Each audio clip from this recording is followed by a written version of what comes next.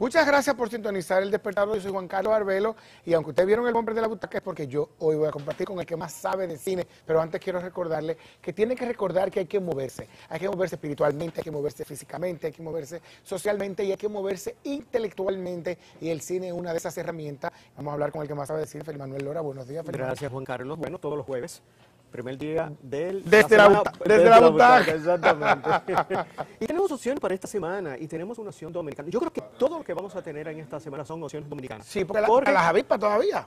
claro claro y también está el festival final pero hablemos primero de asalto en progreso ¿Mm?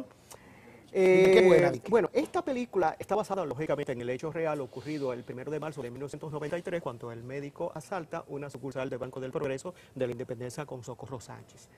Eh, eh, fue quizás en términos televisivos, que a ti te gusta mucho la historia de la televisión, en términos televisivos y en términos mediáticos fue el- un hito dentro de la televisión dominicana, porque es la primera vez que se transmite en vivo un asalto en progreso. Bueno, sí, eh, hubo de hecho, hubo más que más transmitirlo en vivo como tal. Como tal. eh, hubo me- me- imágenes muy frescas Sí. y una conexión de un asaltante con Freddy Veras en punto final, Sí, sí. que aquello fue una cosa impresionante. No habló directamente con Freddy, sino que hablaba a través de doña Gilda, que la recuerdo como ahora, que era la gerente del- de la sucursal. Y recuerdo que mi mamá se me desmayó en los brazos, porque hubo un momento en donde el señor, el doctor...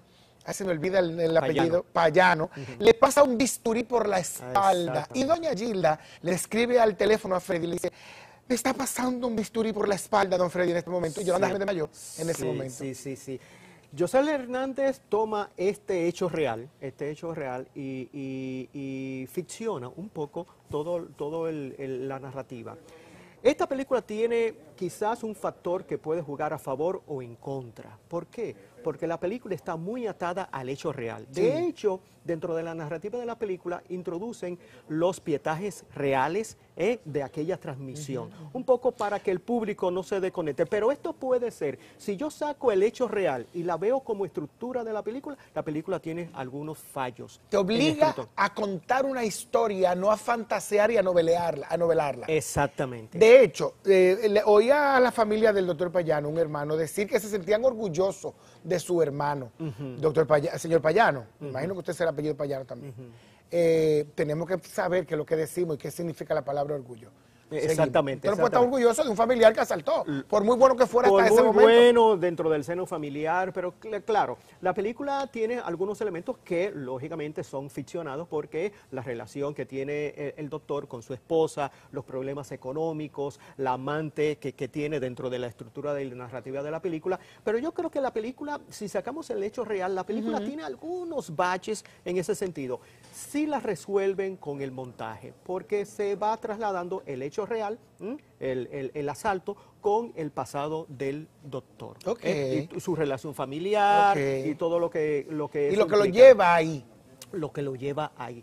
Entonces, estamos hablando de una película que ficciona sobre un hecho real. ¿eh? Y quizá este factor que puede estar en contra o a favor de la película, dependiendo, porque tiene que estar atado eh, eh, al hecho real para que el público siga la narrativa. Y el público lo que va a hacer es comparaciones. Lo que tú me quieres decir quizá que de alguna manera ni, ni quedó claro que fuera un documental o un docufilm, ni quedó claro que fuera una, una película basada en hechos reales.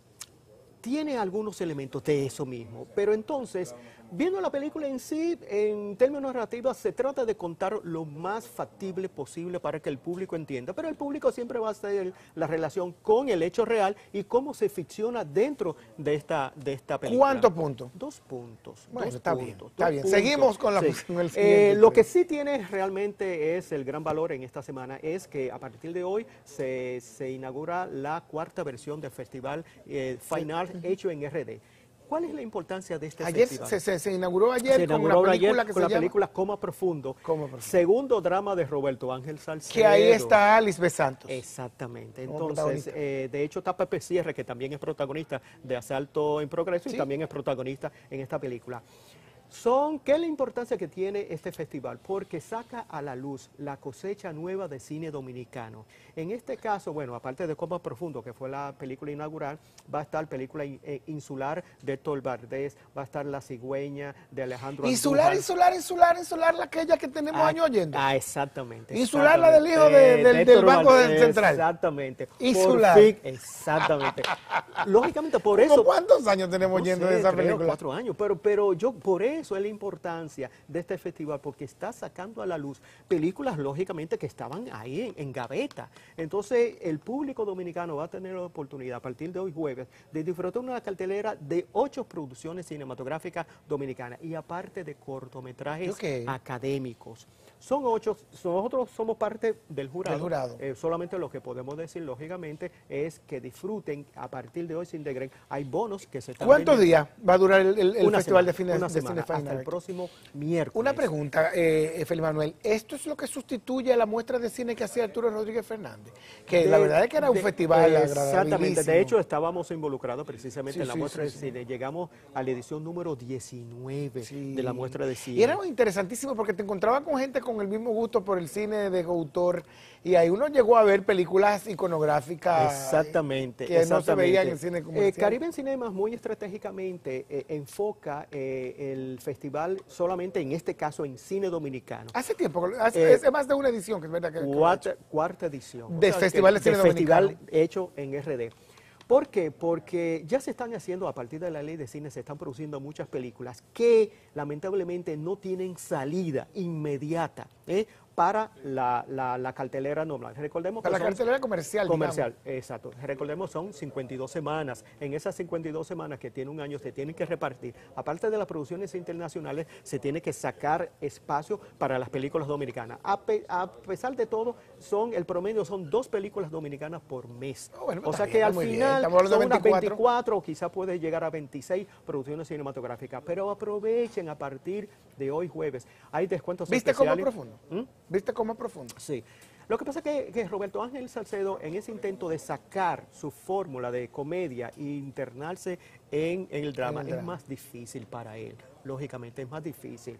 Eh, los guiones tienen muchos huecos, eh, las interpretaciones no deberían, ya que es diferente a una comedia, las interpretaciones tienen que tener otro nivel, todo De eso. exigencia, de pero, y pero sí, pero celebramos realmente que Roberto Ángel Salcedo se dedique entonces a, a- a entrar en el área del drama, que es mucho más complicado. Todos los intentos de cine de autor son válidos porque es una Total, intención de hacerlo con mayor total. profundidad y menos intención comercial. Total, y eso se agradece, sí, la verdad, Se agradece como público. mucho. Y entonces, esa, esa óptica, lógicamente, que es el productor cinematográfico dominicano con más producciones cinematográficas, eh, eh, realizaciones dominicanas eh, estrenadas, es el que mayor tiene, creo que tiene 16 Dios mío. producciones. ¿Y cuántos puntos tú le das como a profundo?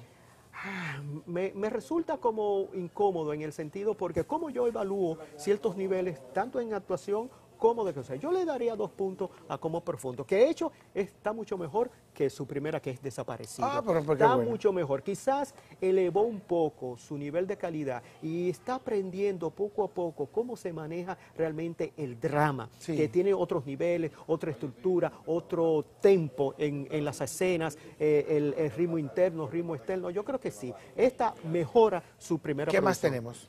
Eso es lo que hay. Bueno, pues yo creo que perfecto. Oye. Recordar a la gente que en Caribbean Cinema está el Festival de Cine de Fine Arts en Nuevo Centro. Exactamente. Y eh, que bueno, que ya hay dos estrenos aparte que van a estar Asalto en progreso. O sea que toda esta semana es cine dominicano, porque si sumamos a las ocho producciones cinematográficas del festival, Sí. más la de Asalto en Progreso, Y, todo y- es y- cine la- dominicano. y el Capitán Avispa que sigue en cartelera. Cine dominicano. O sea que cine dominicano por Total. un tubo para toda la familia. Nos alegra mucho los contactos de Feliz Manuel Lora. Lo vamos a poner ahora mismo, mírenlos ahí. Gracias, Feliz Manuel.